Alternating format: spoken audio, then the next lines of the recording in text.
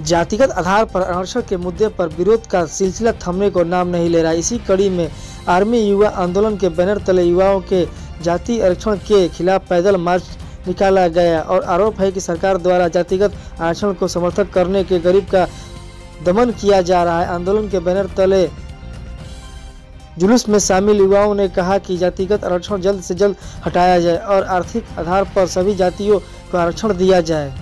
बक्सर के किला मैदान से लेकर बक्सर स्टेशन गोलंबर तक पैदल मार्च समूह का जुलूस भी दिखाया गया और युवाओं द्वारा जातिगत आरक्षण के विरोध में लेकर बैनर तले आंदोलन और भूख हड़ताल किया जा रहा है। बावजूद इसके इस पर किसी की नज़र नहीं देखी जा रही और दौर युवाओं के बीच नीतीश कुमार का मुर्दाबाद के नारे भी लगाए गए और जल्द से जल्द जातीय आरक्षण हम लोगों को बंद कराने का आधार पर आरक्षण लागू करने की भी बात कहा गया।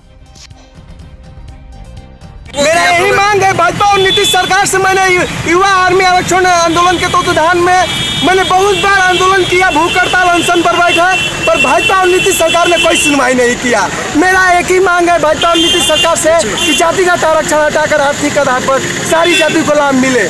सारी जाति में गरीबी है। अगर मेरी मांग को पूरी नहीं करती है भाजपा और नीतीश सरकार उन्हें इसके चुनाव में उखाड़ फेंकेंगे। आप लोग कौन कौन लोग इसमें शामिल हैं? हमारे इस आंदोलन में सारी जाति का समर्थन है।